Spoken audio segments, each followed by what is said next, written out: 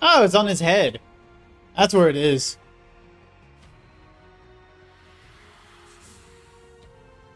Damn. Imagine us absorbing jewelry. That has to be painful.